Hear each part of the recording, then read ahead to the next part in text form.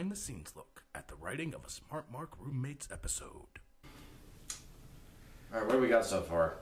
Um, I have nothing. What about you? Um, I've got a, a couple um, hints that uh, possibly. Yeah, I got nothing either. We gotta do something big. I mean, it's the 25th anniversary of our show. Yeah, it's the. It's a, what? No, it's not. Yeah, it is. No, it's not the. It's the 25th anniversary. No, it's the. It's the 25th episode. It's it'll be the 25th time that one of our shows has aired. Exactly. It's the 25th time, so it's the 25th anniversary.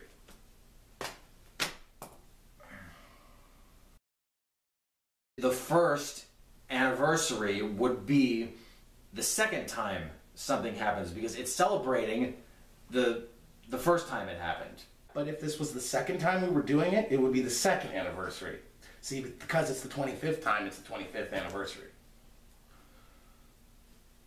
I can't work like this. We have the first time right here that we did this, okay? That's you can't have an anniversary of that. Then you go to a week later, we shoot the second one. Therefore, that's the anniversary, the first anniversary of the first episode. The second time we did one. Does does this so there- okay, does this all make sense now? Have I properly and clearly explained this to you? Yeah, and then if we do that 25 times, it'd be the 25th anniversary. my wedding that's going to be coming up soon.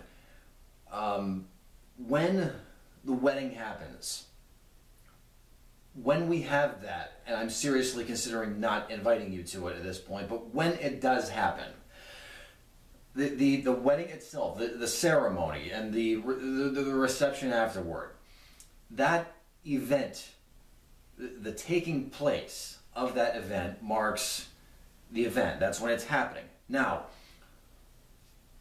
one calendar year later, on that same date, that's going to be the anniversary of the wedding.